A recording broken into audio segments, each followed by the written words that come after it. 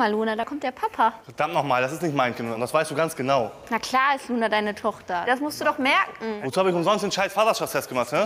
Luna ist dein Kind. Oh Mann, du bist echt ein armes Schwein, dass du diese Kröte da anhängen möchte. Wahnsinn, du. ey. Das, obwohl sie mit jedem von uns in der Kiste war. Such den anderen dumm. Außer hast du doch genug, Mann.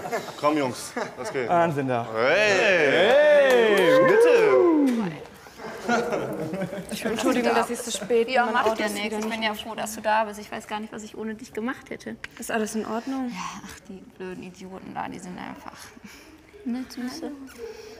Danke, dass du auf Luna aufpasst. Ja, gerne. Ich glaube, ich muss jetzt auch schon in die Verhandlung.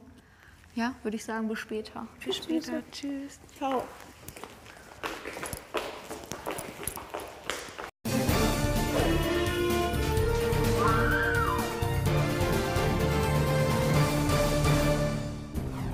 Ronja Tietze, geboren 17. Januar 1987 in Dortmund, wohnhaft in Schwelm, ledig, Auszubildende zur Schornsteinfegerin, derzeit in Mutterschutz.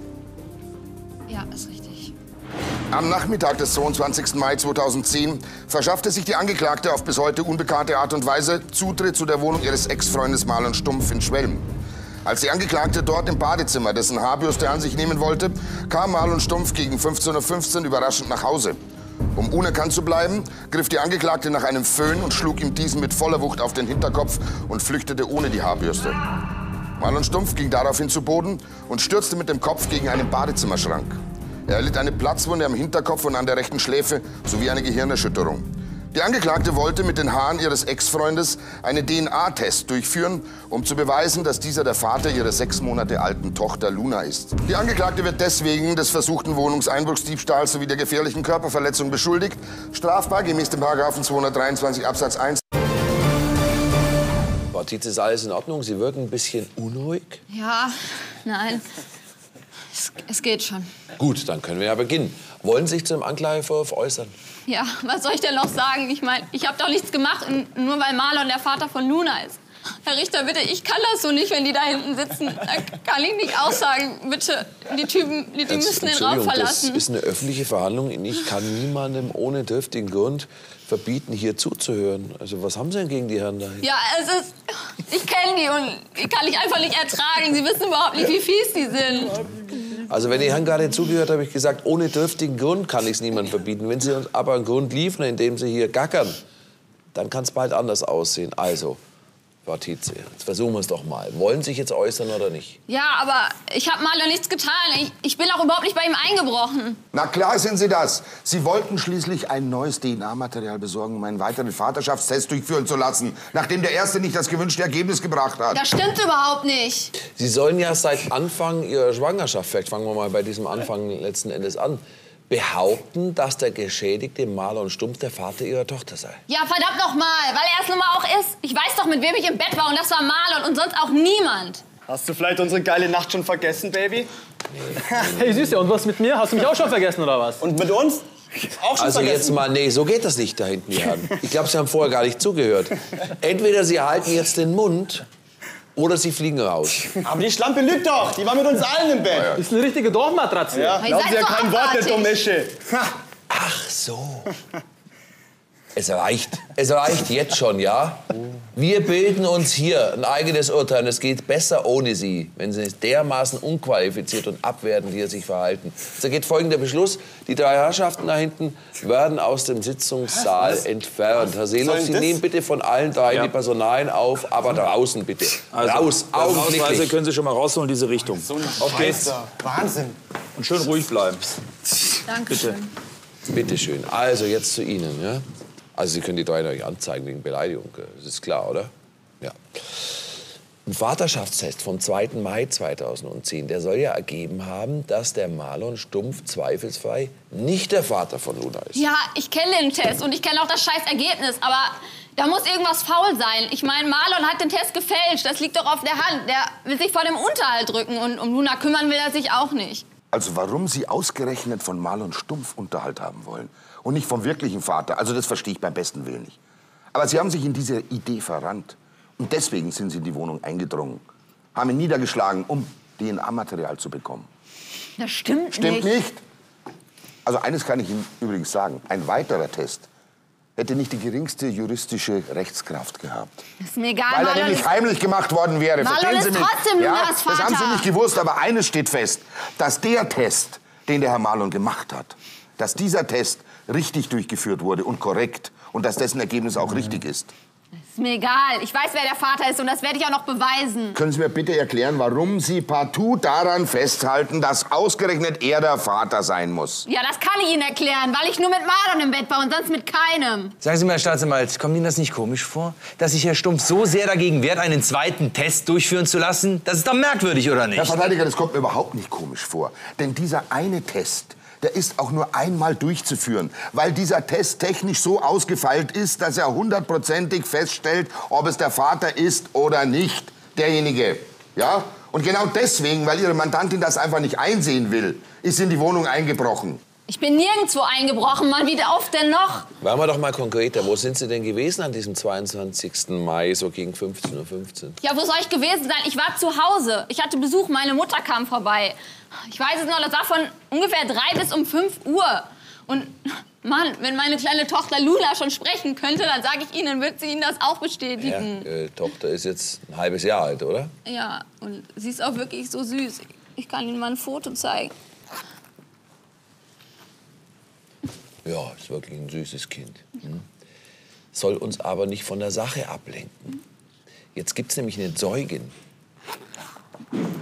Die will wissen, dass an dem Nachmittag zu der Uhrzeit ihre Mutter nicht bei Ihnen gewesen sei. Was soll denn das für eine Zeugin sein? Das, das kann ja nur Christine sein, aber die lügt doch eh. Also, ich glaube nicht, dass die Christi- Christine lügt. Ich glaube eher, dass ihre Mutter lügt.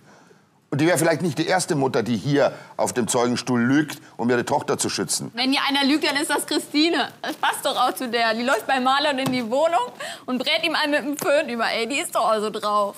Und Christine Amberger hatte ein, ein Motiv, ein glasklares Motiv sogar. Christine Amberger hat mit Marlon Stumpf zwei Kinder. Und die Beziehung zwischen den beiden, die ist nicht gerade großartig. Und woran liegt das? Ausnahmsweise geht es nicht darum, ob Herr Stumpf hier Vater eines Kindes ist, sondern es geht ganz einfach um ein Referat, das Frau Amberger auf dem Laptop von Herrn Stumpf geschrieben hat. Und Herr Stumpf wollte ihr dieses Laptop nicht geben. Aber dieses Referat ist elementar wichtig für Frau Amberger gewesen, weil sie es dringend für die Abendschule brauchte. Genau, und das ist auch der Grund, warum Christine bei Marlon eingebrochen ist und niemand sonst. Sie wollte das Laptop klauen. Gut, da können wir ja später mit der Zeugin selbst noch drüber sprechen. Gibt es denn im Moment Fragen an die hab keine mehr, Angeklagte? danke. Dann nehmen Sie beim Verteidiger bitte Platz. Marlon Stumpf, bitte, wir treten in die Beweisaufnahme ein.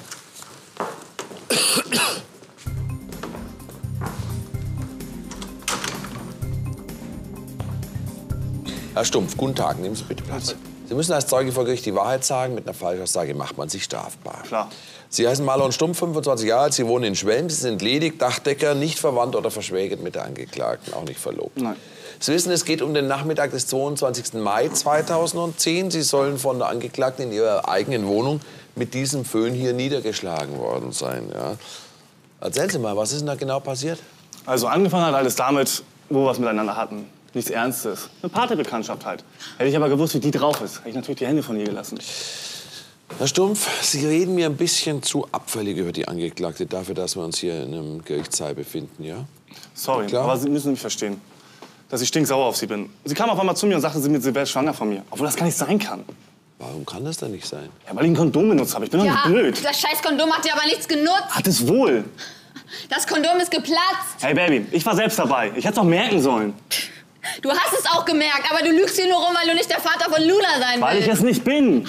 Natürlich bist du. Nein. Ja. Nein. Doch.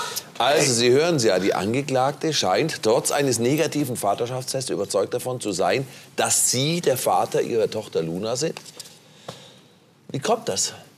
Keine Ahnung. Ich weiß nur, dass ich nicht der Vater bin. Und außerdem hatte sie noch drei andere Typen. Du weißt genau, dass das gelogen ist. Gehe ich recht in der Annahme, Frau Tietze, dass das die drei Jungs sind, die ich gerade eben rausgeschickt habe? Ja, aber die erzählen doch nur irgendeinen Scheiß und meinen, sie wären toll, wenn sie sowas behaupten. Ich habe mit keinem von denen was gehabt. Echt nicht. Echt nicht? Und Sie, Herr Stumpf, Sie beantworten jetzt bitte nur meine Fragen. Und zwar in angemessenem Ton, klar? Ja, sorry, aber sie raubt mir den letzten Nerv. Ich habe ich hab ein Vaterschaftstest gemacht mit allem drum und dran. Hochoffiziell, mit Personalausweis. Hier, wollen Sie, den, wollen Sie den Vaterschaftstest sehen? Hier steht es. Schwarz auf weiß. Da. Da steht, eine Vaterschaft ist ausgeschlossen. Der Test ist falsch. Du hast da irgendwas gedreht. Ey, was soll ich denn da gedreht haben, wenn man mit mir im Wattestäbchen da im Mund herumpopelt? Ja, hast du aber. Ich weiß nicht, wie du es gemacht hast, aber ich werde es nur rausbekommen. Genau. Jetzt enden wir mal diese Diskussion auch, ja. Wir reden ja über den 22. Mai und was da passiert ist, ja. Das erzählen Sie jetzt bitte mal.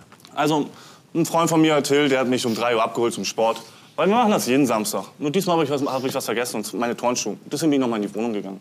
Sie sind noch mal in die Wohnung gegangen. Ist Ihnen da an der Wohnungstür irgendwas aufgefallen? Nö, gar nicht. Ich sperre auch nie meine Wohnung ab. Ich lasse sie einfach nur im Schloss klinken. Das heißt, ich habe sie auch noch aufgemacht. Wir sollten aber besser absperren, oder? Das ist ja regelrecht eine Einladung für Einbrecher. Ach, bei uns im Kuhdorf, da muss man das nicht. Dachte ich. Ja. Also auch die Spurensicherung konnte zwar nicht genau feststellen, wie die Wohnungstür geöffnet wurde.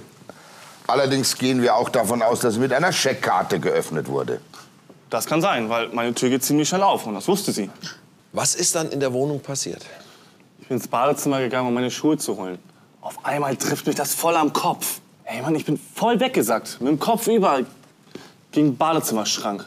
Ey, ich war benommen. Ich glaube sogar, dass ich weg war. Bin erst wieder zu mir gekommen, als mein Freund Till zu mir kam. Das hier ist der Föhn, der als Tatwaffe benutzt worden ist. Fingerabdrücke konnten darauf leider nicht sichergestellt werden, ähm, aber ihr Blut. Und durch den Schlag mit dem Föhn, das ergibt sich aus dem ärztlichen Gutachten, haben sie eine Platzwunde seitlich am Hinterkopf und durch einen Sturz äh, auf den Badezimmerschrank eine Platzwunde an der rechten Schläfe erlitten, zudem eine Gehirnerschütterung. Ja, ich habe auch tagelange Kopfschmerzen gehabt. Sagen Sie mir bitte, ob Sie den Täter gesehen haben. Nee, ich weiß ja, dass es Ronja war. Das heißt, Sie haben niemanden gesehen. Nein, aber ich weiß auch, dass sie es war, weil sie hat schon mal versucht, meine, meine Haarbürste zu klauen. Wegen dem Wahnsinn und, das, und meiner DNA, weil der Test ja falsch sein könnte.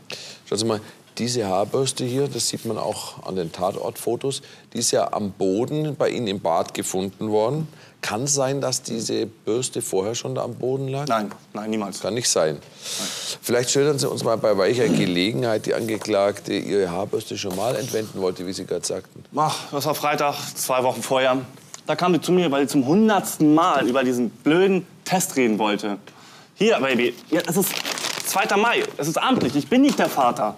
Geh, da, geh, geh das endlich in deinen Schädel rein. Jeder akzeptiert es, nur, bist, nur du nicht. Zum hundertsten Mal, der scheiß Test ist gefaked. Ja, erzählen Sie mal. Also zwei Wochen vorher, da war sie schon mal bei Ja, Ihnen. genau. Und? Sie, ich, ich hatte keinen Bock auf dieses Gespräch, also habe ich sie gleich versucht, an der Tür abzuwimmeln. Komischerweise hat sie sich schnell überreden lassen. Nur sie sagte zu mir, dass sie auf Klo musste. Und ich war so dumm und hab die reingelassen. Und dann, was ist dann passiert? Dann kam sie raus mit der Haarbürste in der Hand, hat einen auf intelligent gemacht, hat mit der Haarbürste gewählt. Du, ich habe jetzt genug Beweise für einen zweiten DNA-Test. Aber hey, ich lass mich doch nicht verarschen. Ich habe ihr natürlich die Haarbürste gleich abgenommen. Herr Stumpf, jetzt sagen Sie mir doch bitte mal, was so schlimm an einem zweiten Vaterschaftstest wäre. Hey. Sie sind sich doch sicher nicht der Vater zu sein, oder?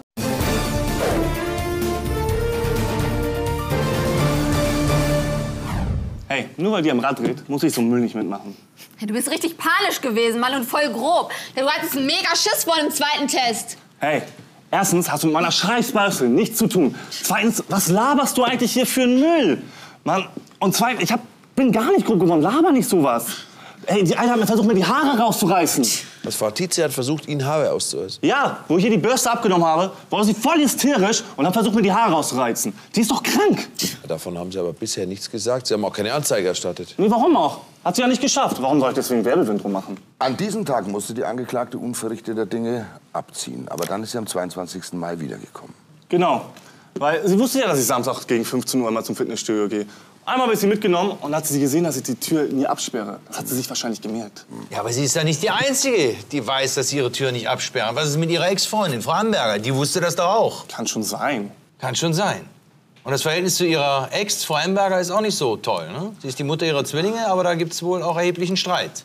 Da läuft es nicht rund. Aber wir haben es echt versucht wegen den Zwillingen. Wo wohnen oder wo leben jetzt Ihre Kinder? Bei Chrissy. Und Chrissy wohnt bei ihren Eltern. Wissen Sie, ich habe kein Händchen für Frauen, komischerweise. Ich suche mir immer die dümmsten raus. Bleiben wir doch kurz einen kleinen Moment bei ihrer Ex-Freundin. Mit ihr sollen sie doch im Mai einen heftigen Streit gehabt haben. Ach, das ist Schnee von gestern. Das ist nicht Schnee von gestern, sonst hätten wir nicht danach gefragt. Jetzt bitte. Eine Freundin von Chrissy hat mir was gesteckt. Dass sie mir mit Absicht schwanger werden wollte.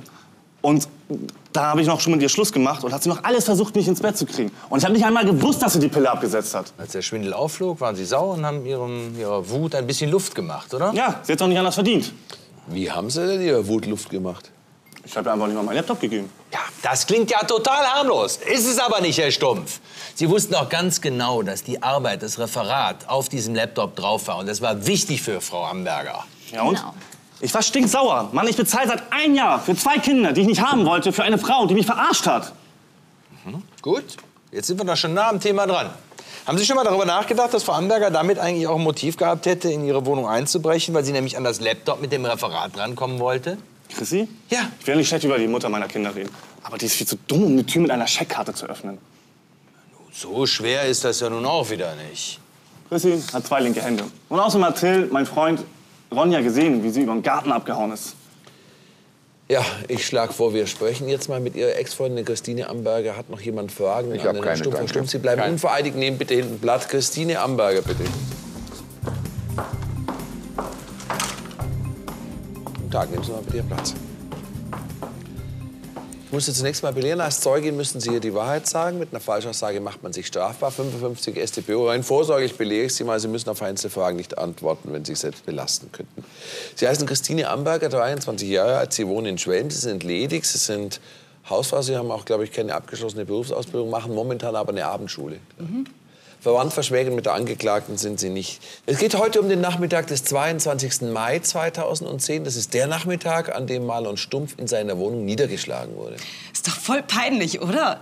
Wie die sich aufführt, wo doch vollkommen klar ist, dass ich die Einzige bin, die Kinder von Marlon hat. Und wenn du vor Eifer so kotzen müsstest, du bist nicht die Einzige, die von Marlon ein Kind hat. Hier, das ist meine Tochter und das sieht doch wohl jeder, dass Marlon der Vater ist. Wo sieht das denn bitte Marlon ähnlich? Schau dir lieber mal meine Zwillinge an, dann weißt du, was Ähnlichkeit ist. Alter, mit dir diskutiere ich doch gar nicht. Tja, du lügst doch hier eh nur voll fett rum, blöde Kuh, ey. Ich weiß nämlich zufällig, zufälligerweise ganz genau, dass dein ach so tolles Alibi voll gelogen ist. Ja. So, was Sie aber nicht wissen, beide offensichtlich, wo Sie sich hier befinden. Oder haben Sie es gerade vergessen? Doch, im Gericht. Wunderbar, wissen Sie es ja doch. Wieso verhalten Sie sich dann nicht so, wie man sich vor Gericht verhält, oder? Ja, Entschuldigung. Also, wie ist das mit dem Alibi? Hm? Wieso sollte das nicht stimmen, das Alibi von Frau Tietze? Na, weil ich an dem Nachmittag zu ihr wollte. Gegen halb vier habe ich bei ihr geklingelt. Bloß hat keiner aufgemacht, weil Ronja eben einfach nicht zu Hause war. Sie wollten Ronja besuchen? Wollen Sie es jetzt erzählen, Sie seien Ihre beste Freundin oder was? Das sah mir aber gerade nicht so aus. Sind wir natürlich nicht, aber naja, ich kenne Ronja schon aus der Schule. Und naja, ich habe mitbekommen, wie fertig sie war, weil Marlon sie halt dauernd abgewimmelt hat. Naja, und da hat sie mir ein bisschen leid getan. Ich meine, klar, er ist nicht der Vater von ihrem Kind, aber deswegen hätte er sie trotzdem nicht so mies behandeln sollen. Ich hab dir Naja. leid getan, ey. Das hast du doch wohl selber dir nicht geglaubt. Doch, und weißt du was? Ich wollte dir sogar vorschlagen, dass du eine DNA-Probe von meinen Zwillingen nimmst. Die hättest du nämlich mit der DNA von deinem Baby vergleichen lassen können. Und dann wäre da nämlich rausgekommen, ob die eben verwandt sind oder nicht. Das stimmt, also so hätte man zumindest feststellen können, ob die DNA der Kinder ähnlich ist. Ja. Daran hat die Angeklagte aber bestimmt nicht gedacht. Ja, nee, das habe ich nicht gewusst. Ich dachte, man braucht dafür einen Vaterschaftstest. Tja, da siehst du mal, was ich alles weiß. Aber du warst ja nicht zu Hause, wo ich dir das vorschlagen wollte. Da bist du nämlich gerade bei Marlon eingebrochen. Ja, sicher. Ich war wohl zu Hause, Mann. Ich habe bloß keinen Bock ge- gehabt, dir die Tür aufzumachen. Und weißt du auch warum? Weil ich durch den Türspion dich schon gesehen habe. Na, plumper geht's ja nicht mehr, oder? Mit den Ausreden. Ja, plump. Fragen Sie auch meine Mutter, die war auch dabei, wenn Sie mir so, schon nicht ihre glauben. Mutter. Weil die vielleicht nicht lügt oder was? Ihr habt euch doch 100 pro abgesprochen. Ja, aber doch nicht. Deine Mutti kann dir jetzt auch nicht mehr weiterhelfen. Ich kann nämlich beweisen, dass sie nicht bei dir gewesen ist. Sie können es beweisen. Da bin ich jetzt aber mal gespannt. Ja, ich auch. Na, weil ich sie auf der Straße gesehen habe. Also Ronja, ihre Mutter. Sie war genau gegenüber auf der anderen Straßenseite, kurz nachdem ich eben bei ihr geklingelt hatte. Wissen Sie, was ich glaube, Frau Amberger? Ich glaube, dass Sie lügen. Was? Ich? Ja. Soll ich Ihnen jetzt auch noch sagen, warum? Weil ich glaube, dass Sie die Täterin sind. Und Sie hatten auch allen Grund dazu, bei ihm einzusteigen und ihn auch niederzuschlagen. Ich? Ja, So. Sie. Soll ich Ihnen erzählen, warum? Na, dann erinnern Sie sich doch mal an Ihr Referat. Er hat Ihnen doch das Laptop vorenthalten. Sie hatten Zeitdruck. Ja, Sie mussten ein Referat abgeben, das konnten Sie nicht abgeben. Und deshalb sind Sie bei ihm eingestiegen. Ha? Na Wann und? hätten Sie das Referat denn halten sollen? Am 31. Mai. Naja, und weil Marlon es dann nicht rausgerückt hat, musste ich den Termin dann verschieben. Aber mittlerweile habe ich das Referat, ja, er hat es mir noch gegeben. Ja gut, aber damals wussten Sie das eben noch nicht. Und Sie wussten ganz genau, dass Sie eine ganz gute Note brauchen, oder? Ja, stimmt. Na und? Ja. Deswegen bin ich trotzdem nicht bei Marlon eingebrochen. Wie hätte ich das überhaupt machen sollen ohne Schlüssel, hä? Ich hab doch gesagt, die ist viel zu dumm, um bei mir einzusteigen. Ey! Ja, ey, sei doch froh, so wärst du jedenfalls nicht verdächtigt. Schauen Sie, meine Mandantin hat ein Alibi. Und Sie haben ein Motiv. Und deshalb sind Sie auch die Täterin. Ey, verdammt nochmal, ich bin's nicht gewesen. Laut Spurensicherung wurden allerdings keinerlei Spuren der Zeugin an dem Laptop gefunden. Und der Täter, der muss im Badezimmer hinter der Tür gestanden haben, als er zugeschlagen hat. Sonst wäre nämlich der Herr Stumpf nicht von hinten getroffen worden. Also es ist ja besonders üblich, dass man seine Laptops im Bad aufbewahrt, Herr Verteidiger. Ja? Was Also was sollte sie dann eigentlich im Bad suchen, wenn sie es gewesen sein sollte und an den Laptop wollte? Ich weiß nicht, ob ich Ihnen das erklären muss, Nee, Herr die Staatsanwalt. wollte DNA-Material, sprich Haare, die sie verwenden wollte für einen Test. Ja, ja, natürlich. Ja, und deswegen war sie im Bad. Und im Bad findet man Bürsten und keine Laptops. Ja, aber sie wäre doch nicht die erste Täterin, die merkt, dass jemand eine Wohnung betritt, sich im Bad versteckt so. und dann von hinten den Täter niederschlägt. Und genauso kann es hier gewesen sein. Vielleicht war sie auch einfach so auf der Toilette. Ich weiß es ja nicht. Auf jeden Fall ist es möglich, dass sie nach Eintreten von Herrn Stumpf diesen aus der Toilette kommt niedergeschlagen hat. Darf ich jetzt auch mal was sagen, ja? Was denn? Dann sind sie wieder rein, haben das Laptop genommen und sind raus. Lassen Sie sie doch mal. Hm? Lassen Sie sich doch mal erzählen. Ich war natürlich nicht im Bad. Ich war überhaupt noch nicht mal in Marlon seiner Wohnung, weil ich erstens nicht reingekommen wäre und zweitens hätte ich mit dem blöden Laptop eh nichts anfangen können.